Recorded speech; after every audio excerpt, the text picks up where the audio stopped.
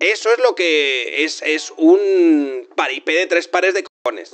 Lo que es un poco cómo se articula y se construye todo tu discurso demagogo y populista sobre palabras, ¿vale? A las que quieres vaciar de contenido, como es, por ejemplo, la palabra democracia. Why are you gay? Vamos a quitarnos el esparadrapo y vamos primero a reaccionar a Pablo Iglesias defendiendo la dictadura de Venezuela y diciendo burradas en televisión española. Me importa un rábano lo que opinen los zurdos. Nos lo vamos a tomar con humor, vamos a ser asertivos y vamos a intentar, en un ejercicio de humildad y de reflexión, intentar descubrir cuáles son los puntos positivos, en este caso del discurso de Pablo Iglesias. Vamos allá. Voy a estar muy tranquilo. Vamos, vamos allá, Pablo. Vamos allá. Sí, sí. La Adelante, y- ahora tú, si para combatir el narcotráfico tenemos que ir a por el pequeño camello o tenemos que ir a por el jefe de los narcos. Y como estaba diciendo él, pues ¿Sabes? Pues a lo mejor, para combatir el narcotráfico, a lo mejor lo que se podría hacer es. Es acabar con el gobierno de Venezuela que ha convertido el país en un narcoestado. Es que siempre me voy a lo mismo. Siempre me voy a lo mismo. ¿Sabes por dónde cambian los camellos a sus anchas?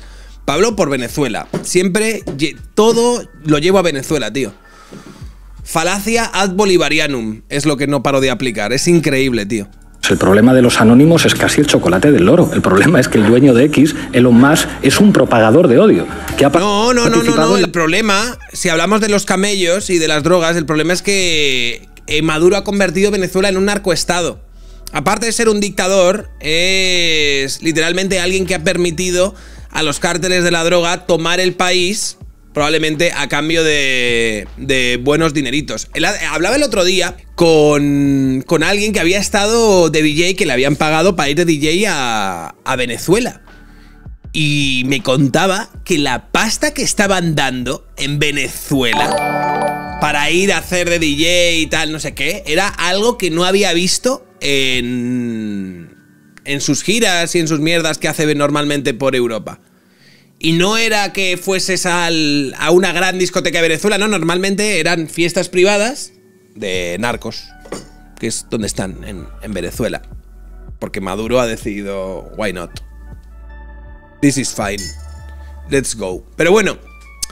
Eh, sí, Elon Musk, ¿qué pasa con Elon Musk? Cuéntanos. El dueño de X, Elon Musk, es un propagador de odio. Que Ah, es un propagador de odio, vale, Elon Musk. Vale, era, que esto va de Elon Musk. Ok, ok, ok. participado en la dinámica de los pogromos contra personas racializadas en La dinámica de los pogromos. Oye, tío, yo no estoy muy puesto. ¿Cuál es, ¿Qué es la dinámica de los pogromos? Ponedmoslo por ahí por el chat. el Reino Unido y en Irlanda del Norte. El problema es que Donald Trump es uno de esos generadores de odio. Pues generador de odio. Habría que prohibirle ser a Donald Trump, ¿no? No como tú, que tú eres un propagador de paz, de amor y de armonía. Desde que tú apareciste, el panorama político en España, desde luego, se ha armonizado totalmente. Somos mucho más pacíficos, estamos mucho menos polarizados y bueno, es todo... Ya te digo, es un gusto. Discutir ahora mismo de política en España desde los últimos 6-7 años, desde que tú apareciste y irrumpiste en el tablero político, rompiendo el, biparti- el bipartidismo, desde luego es de lo más... eh, de- de- yo diría, de lo más refrescante y, y el alivio político que necesitaba precisamente el país. Totalmente, sí, sí, sí. El problema es Elon Musk. Sí, sí, sí, sí, sí, sí. Y en el caso de España, cuando vemos lo que escribe Abascal, lo que escribe Alvise, Debería estar prohibido, claro, claro, claro. tenemos a propagadores de odio con acta de diputado. A por esos hay que ir. Claro, hay que ir a por los propagadores de odio con acta de diputado. No como tú. Ya te digo, tú eres un propagador de amor, de armonía, de abrazos. Tú eres, por cierto, el. El que. mm, El que después de que, por ejemplo, Vox fuese a Vallecas a dar un meeting y le recibieran los. tus guardaespaldas, amigo, a pedrada limpia, que iba ahí la. la candidata Rocío Monasterio a dar un meeting. Tú luego eso lo defendiste diciendo que era. ¿Cómo? El pueblo de Vallecas defendiéndose o alguna mierda así. Era un ejemplo de la lucha y la resistencia antifascista. ¿Cómo tienes los santos cojones de aparecer en un medio de comunicación público, probablemente cobrando dinero de tertuliano a precio de. a precio de oro? ¿Dónde está tu honor, basura? diciendo con toda tu polla, con toda tu polla que bueno, que es que habría que condenar a todos aquellos, ¿no? Que propagan hostias. odio Feliz desde la extrema derecha. Oromar 99. Como si tú no hubieses propagado odio sistemáticamente desde tu posición dentro de la izquierda radical. Como si a ti no te hubiese escuchado diciendo que había que instrumentalizar el dolor. ¿Cómo era Pablo Iglesias? Llegó el cambio a los principales ayuntamientos del Estado y lo fundamental es que sonábamos distintos, es que el lenguaje era diferente, es que la gente notaba la diferencia y es verdad que sonábamos duros, porque lo principal del lenguaje del 15M, del lenguaje de AGE, del lenguaje de Podemos, del lenguaje de Unidos Podemos, del lenguaje de todos esos militantes que venían de la izquierda tradicional y entendieron bonito, ¿eh? con sentido histórico lo que estaba pasando, es que lo fundamental no eran las identidades ideológicas, era politizar el dolor. Y no hay nada más ideológico que politizar el dolor. Politizar el dolor es hablar de desahucios, es hablar de camas de hospital que faltan, es hablar de niños que estudian en barracones, es hablar de industria que se destruye, es hablar de migración. Eso es hablar de política, hablar del dolor. Y politizar el dolor suena duro, suena fuerte, suena más a Bruce Springsteen que a Coldplay. Suena más a de Bruce Springsteen que Coldplay. Y ahora me estás con toda tu polla, ¿sabes? En televisión española, hablando de, de los propagadores de odio, ¿no? De que es que hay gente que con sus discursos crispa mucho, ¿no? Que es que hay tuiteros que tienen acta de diputado. Que no veas lo que crispan y el odio que generan tú. Na, na, na, na, na. Crack. Mastodonte, titán.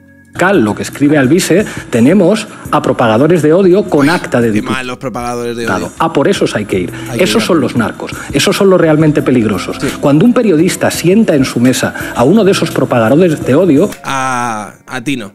A ti no, tú no, tú no entras en ese pack. es lo mismo que el chofer del narcotraficante diga, oiga, yo no vendo droga ya, pero usted está llevando al narcotraficante Mira, aquí está Tigrillo, aquí está. Es que está. Menudo plantel hay aquí, ¿no?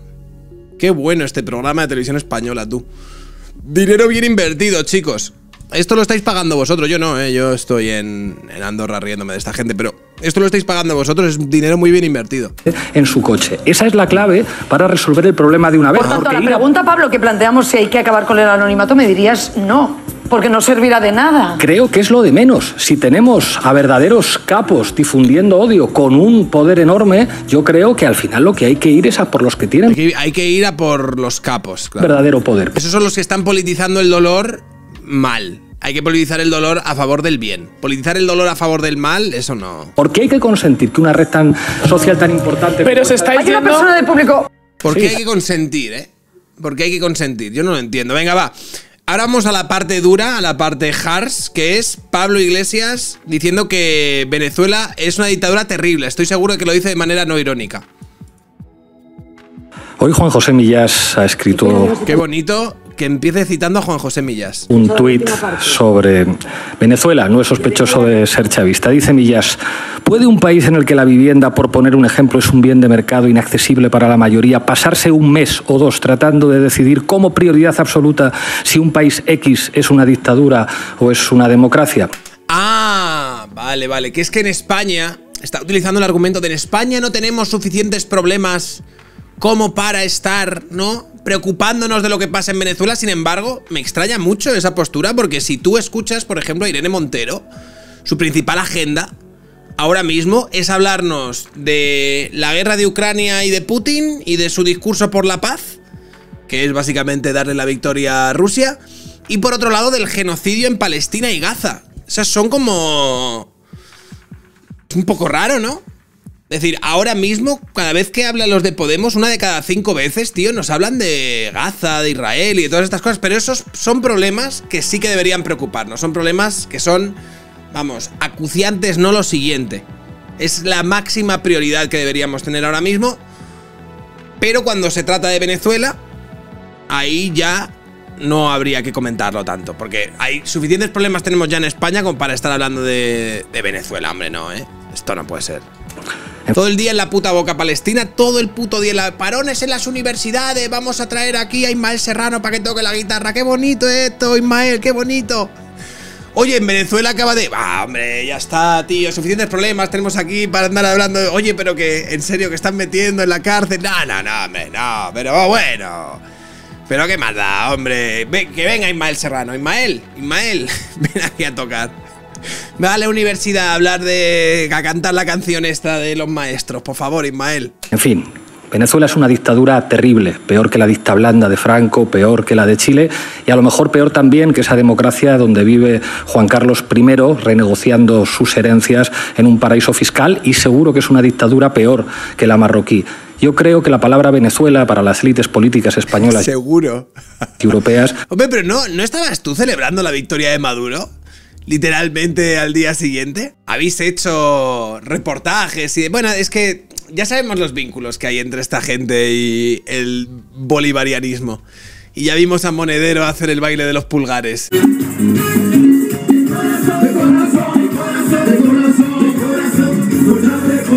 Entonces, bueno, es un poco ridículo ya. Toda, toda, toda posición de, ala, venga. Claro, máxima relativización, ¿no? Plan, Bueno, sí, Venezuela, pues es una dictadura, pues como Chile, como España, ¿no? También, ¿qué pasa? La palabra Venezuela para las élites políticas españolas y europeas es un sinónimo de hipocresía, Claro. para no hablar de los problemas de la gente de aquí. Claro, claro, claro, claro. O sea, Yo ya digo que Venezuela es una dictadura terrible, aunque la oposición gobierne en más de 100 alcaldías y aunque gobierne tres estados, es una dictadura terrible. Mucho peor que Arabia Saudí, mucho peor que China, donde acaba de estar el gobierno y donde ha estado el rey de España saludando a Xi Jinping. Es una dictadura mucho peor. Pero hay una manera mucho más fácil de encararla, y es que el Partido Popular y el PSOE le pidan a Repsol, que hace negocios Fíjate, ya ha renunciado, ¿sabes? Está tirando como de fina ironía. Jaja, sí, terrible, Venezuela, dictadura. Está de fina ironía para no defender realmente lo que realmente defiende. Que este tío te defiende que Venezuela es... eh, no te voy a decir un paraíso democrático, pero casi. ¿Cómo va a ser una dictadura y demás? Pero realmente ya ha renunciado a defender el último proceso electoral que hubo en Venezuela. O sea, ya ha renunciado literalmente a puto defender el hecho de que aquello fue un You are- robo You are que todo el mundo vio. Calvo, ya que y no que puedes el decir gobierno mi de nombre, Maduro llámame se niega a entregar unas actas porque sabe que son de unas elecciones que ellos perdieron. A eso ya ha renunciado. Entonces ahora tira como de ironía, tira de relati- máximo relativismo, en plan, bueno, sí, claro. Y, y- y Arabia Saudí y, y Kuala Lumpur. Si Venezuela es presentada por buena parte de la prensa occidental como una terrible dictadura, al tiempo que presenta a países como Arabia Saudí, Qatar, Marruecos o Israel como respetables socios, Y es que el Partido Popular y el PSOE le pidan a Repsol, que hace negocios con Venezuela, que deje de hacer negocios con Venezuela. Y ya veréis como cuando le pidamos a Núñez Feijó o a Pedro Sánchez que le diga a Repsol, a Yosuyo Nimaz, ese señor que era del PNV, que dejen hacer negocios con Venezuela, vamos a descubrir que eso no se lo piden. You- Esto es un pari. You are Ya ves. transgender. Fuerte, tío. Lo de, los lo de los negocios de Repsol con Venezuela es muy fuerte, tío, la verdad. Eh, es, es máxima hipocresía, máxima hipocresía. ¿Qué? Esto es un paripé para discutir en el Parlamento. Esto es un paripé para eso. No, a mí lo que me parece un paripé es que estéis todo el puto día con la palabra democracia en la boca y no seáis capaces Desde de que teletrabajo me señalar, paso media mañana viendo en YouTube, la 15 otra mitad la comiendo anuncios. Un Lo que ha pasado en Venezuela y lo que está pasando en Venezuela. Eso es lo que nos parece a todos un paripé, tío. Lo que nos parece un paripé es que estéis todo el puto día con la palabra democracia en la boca y tengáis 4, 5, 6 programas defendiendo la dictadura de Venezuela. Lo que parece un paripé es que estéis todo el día con la palabra democracia en la boca y llevéis al gorila albino, ¿vale? A la, a la televisión española para mentir y soltar fake news sobre Edmundo González diciendo que era un terrorista que trabajaba para la CIA y que se dedicaba a, a matar estudiantes y maestros en Chile. Eso, eso es lo que. O en Chile o en El Salvador, ya no sé dónde cojones era. Eso es lo que es, es un paripé de tres pares de cojones. Lo que es un poco cómo se articula y se construye todo tu discurso demagogo y populista sobre palabras, ¿vale? A las que quieres vaciar de contenido, como es, por ejemplo, la palabra democracia. El tema no es que China, Arabia Saudí sean dictaduras. Sabemos que son dictaduras. El tema es que Venezuela es una dictadura y la quieren maquillar con que es una democracia y personajes como el Monedero nos quieren vender ese cuento de hadas. Gracias por los bits. Hoy, por cierto, en el Parlamento Europeo, efectivamente, bueno, no fue hoy, fue ayer. Le han ah, le han dado opciones a esta gentuza, Sibilex, pásamelo, por favor. Sibilex, si lo encuentras o lo tienes por ahí, pásamelo. Pero nadie le está pidiendo a Repsol ni a las empresas Cuxel me volvió a llamar pipero, oh Dios mío. Oh fuck. Ya sabía yo que me. Tan tarde noche me estaba. ¿Sabes? Re- re- rechinando los tímpanos y era el puto Cuxel que me estaba llamando Pipero. Sasel, Sasel, Sasel mío.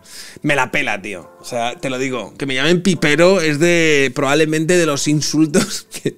Me hace incluso gracia, ¿sabes? Porque llamo, "Eh, Pipero, pues tengo la Play, ¿no? Entonces Pipero, pues ya está. le está pidiendo a Repsol ni a las empresas españolas que hagan boicot a esa terrible dictadura, que es una dictadura y no como lo de Franco, que todos sabemos que era una dicta blanda. Venga, dos turnos. Que, qué bien usa la fina ironía Pablo, ¿eh? Qué bien, y pone Ione Belarra, brutal. Te lo digo. Menos mal que esta gente es irrelevante, ¿eh? El de Yo creo que. Pablo, yo creo... Ah, y, y aplausos. Claro, no, no, no, ponle. Dale al botón de los aplausos, chicos. Qué maravilla. Es, es maravilloso, tío, la verdad. No hace falta leer ningún plan de regeneración democrática que provenga de este gobierno, que ha sido el que se está cargando Demanda contra Ione. García Castellón demanda a Ione Belarra por llamarle corrupto y prevaricador y le reclama 120.000 euros. La diputada de Podemos, lejos de rectificar, ahonda este viernes en sus acusaciones. Es corrupción con o sin condena. Hoy el BOE publica la jubilación forzosa del juez García Castejón, lo dijimos hace meses y ahora se confirma este y otros meses jueces corruptos que han prevaricado contra quienes defendemos otra idea de España. Se van a ir de rositas sin, sin sanción alguna gracias al PSOE. Vergüenza. ¿Vale? Les han denunciado. Y bueno. García Castellón no tenía ganas de jubilarse y continúa la guerra sucia judicial contra Podemos. Se querella contra mí por decir la verdad, por lo que ha hecho para proteger al PP y para perseguir a los adversarios políticos de la derecha. Es corrupción con o sin condena. Pues ya está. Pues si lo dice Ione Belarra, yo me lo creo, chicos. Si lo dice Ione Belarra, yo me lo creo. I, I want to believe, Ione. I want to believe you. Why are you gay? Un alivio cómico antes de continuar. Queremos que tengas la oportunidad de resarcirte, ¿vale? Y queremos que vuelvas a respondernos a esa pregunta. Vale. ¿Te apetece? Sí. Sabía que mis notabilidad era feminista. Venga, yo te hago la pregunta, que ya sabes cuál es, el tema está muy claro. Descenso de Oh no, mis Cataluña han vuelto. natalidad en España. Te digo una cosa, no me pongas como ejemplo que como toda España sabe, yo ya he tenido una hija que no me deja dormir. a partir de ahí, lo que tú quieras. Adelante. ¿Esta era mis Cataluña? De todas las tías que hay en Cataluña, esta es la que está más buena, tío. Vale, pues muchas gracias por la pregunta en primer lugar. ¿En serio? Y en de todas las mises que hay en Cataluña, esta es la que. lugar, quería decir que el descenso de la natalidad en España Ya te las buscas en la Wikipedia, pero tío, yo creo que estoy de acuerdo con el artículo que escribió Juan Soto Ibars. De no necesitamos que las mises nos hagan sesudas reflexiones sobre la natalidad. O sea, esto no me vale. Esto de. hace- hazme la pregunta. No, pero espérate, me la voy a aprender, voy a buscar en la Wikipedia, voy a investigar. Ahora, házmela de nuevo. y en todos los países más desarrollados del, del mundo, realmente es una prueba del avance que hemos tenido las mujeres y del respeto que estamos recibiendo en la sociedad. Eh, nosotras El descenso de la natalidad es una prueba del avance de las mujeres. Madre mía. podemos, tenemos ahora la oportunidad de tener una carrera, de tener oportunidades, de salir adelante. Y eso pues al final es algo que nos impacta en el sentido de que igual no podemos tener tantos hijos como antiguamente, pero una cosa no tiene que ver con la otra. Realmente diría que deberíamos de darles a las mujeres y a las familias en la oportunidad de poder tener un mejor equilibrio entre la Prefiero literalmente lo que dijo la otra vez. Para decir esto, crack, yo creo que podrías decir mejor esto de Vamos aquí. con mis casos de la natalidad en España. El descenso de la notabilidad en España es un tema que lamentablemente nos está impactando muy fuertemente a nuestra sociedad. Eh, el descenso de la notabilidad es algo que... Pues es que no sabía ni lo que era natalidad y ahora de repente dice, no, no, vuelve a hacerme la pregunta, vuelve a hacerme la pregunta. Yo, pero si no sabías ni lo que era natalidad. No, no, no, no, no, no, no, pero ahora, eh, eh, sí, me la he preparado y eh, te- tengo un discurso, rollo, tío, no me puedes decir que me vas a dar una buena respuesta sobre lo de la natalidad cuando literalmente hace una semana no sabías ni de qué coño te estaban hablando. Y hablabas de notabilidad. No, no, pero ahora me la sé, me la sé. Anda a tomar por culo ya, hombre. Anda ya. Comprémonos maquillaje para gustar a los chicos. ¡Qué bien habla! ¿Es que no encontráis extraño lo que dice Stacy Malibu? Pues la que dice algo muy extraño es Miss Stacy.